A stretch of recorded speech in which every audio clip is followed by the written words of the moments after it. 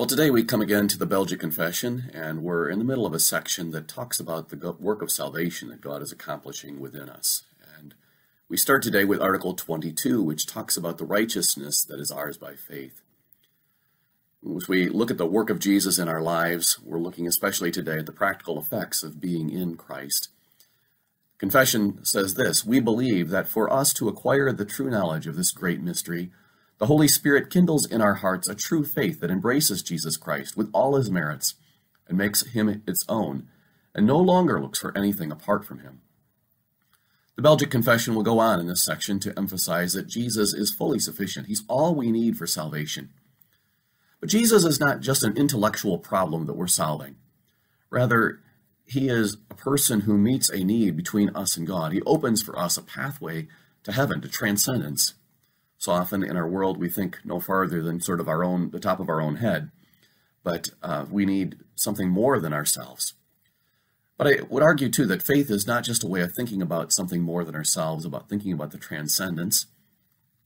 Sometimes we talk about being people of faith as if you can have a spiritual journey that has no destination. But the Christian faith does not allow for that.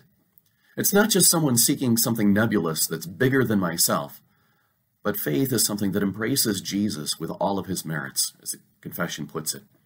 In other words, you can't have faith without having your faith latch on to Jesus, onto the triune God.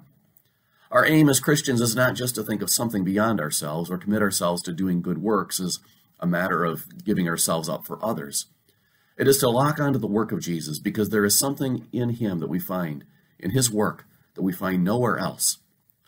And that brings us to the question of, well, what is that something else? And Article 23 talks about that in some detail. We believe that our blessedness lies in the forgiveness of our sins because of Jesus Christ, and that in it our righteousness before God is contained. It goes on a little bit later to say, We are justified by his grace as a gift through the redemption that is in Christ Jesus. And therefore we cling to this foundation which is forever firm, giving all glory to God humbling ourselves and recognizing ourselves as we are, not claiming a thing for ourselves or our merits, and leaning and resting on the sole obedience of Christ crucified, which is ours when we believe in him. The confession here is really speaking about a turning point in our relationship with God, which happens when God declares us righteous rather than sinners who deserve his condemnation. Now, the theological word for this is justification. Sometimes it's given a sort of Sunday school definition. Justification is just as if I'd never sinned. Now, that's not a full definition, but it's a helpful starting point for our understanding, I think. This is something that was especially an important point in the Reformation. Somebody like Martin Luther, pictured here, placed a big emphasis on this. Justification has two aspects. It's forgiveness for the things that we've done wrong, but it's also the credit of Jesus' righteousness to us.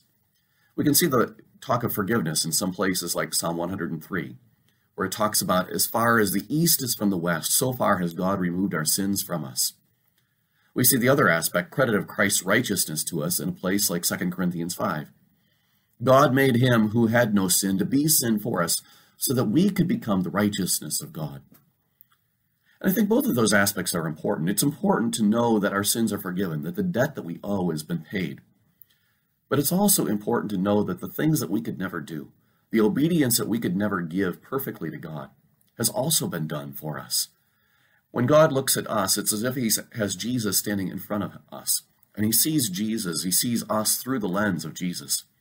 Not only does God declare us not guilty, but he looks at us and says something even more remarkable You're righteous.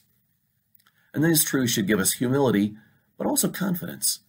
Confidence because we don't have to be worried about our salvation. We don't have to worry that there's kind of in the old picture of salvation, that there's a balance between good and evil that's being weighed uh, on, us, and we need to come out on the good side.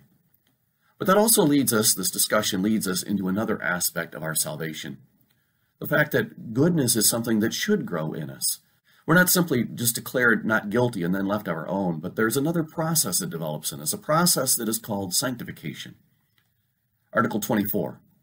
We believe that this true faith, produced in us by the hearing of God's word and by the work of the Holy Spirit, regenerates us and makes us new creatures, causing us to live a new life and freeing us from the slavery of sin.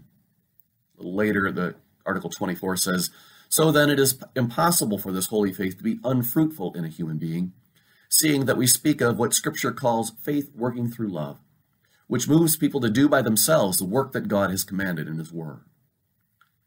Know, sometimes we, in our culture, we have people that picture Christianity as a sort of dry, joyless religion of duty. It's a bunch of activities that you do that, that you just have to do, but there's no fun in it, there's no joy in it. But Scripture tells us that it's actually quite different. Salvation in Jesus leads to a sense of joy in following what God requests of it. I think of Psalm 119, for example, that talks about the joy of knowing God's law, finding delight in, in the things that He instructs us. A relationship with God is like a good friendship in some ways, in which we find ourselves being interested, becoming more and more interested in what pleases the other person, what pleases God. And His Spirit works in us so that as we seek to know Him more and to understand His Word more deeply, the good works He asks of us gradually become more and more natural in us. Think about Galatians chapter 5. The fruit of the Spirit is love, joy, peace, patience, and so on. What that chapter is saying, Galatians 5 is saying, is that as the Holy Spirit lives in us, we more and more find ourselves characterized by those traits that God declares are good. Justification by itself declares us good, but it's not it isn't something that by itself leads to holiness, leads to growth in us. We also need sanctification to be the outcome of our justification. Sanctification, being made holy, the word literally means, to accomplish this. As Paul says in Romans chapter 6, we do not sin that so that grace may abound. I think there's an important corrective here to the way that people often understand the Christian faith. Sometimes we hear people talk about Christianity as if it was a religion of good works, that it's our goodness that makes us Christians. But the Bible says it's just the opposite, that it's actually being in Christ that makes us good. That our, our life does not have to be one of a hamster wheel, continually trying to do something better and better but that we can have confidence before God even as we learn to give up our sin, which is a process that takes a lifetime.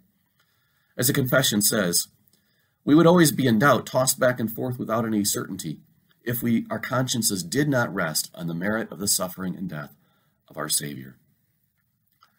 Our lives need a resting place.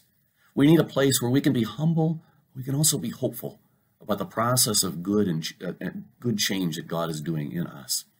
And in Christ, and in the work of the Holy Spirit, God has given us just that.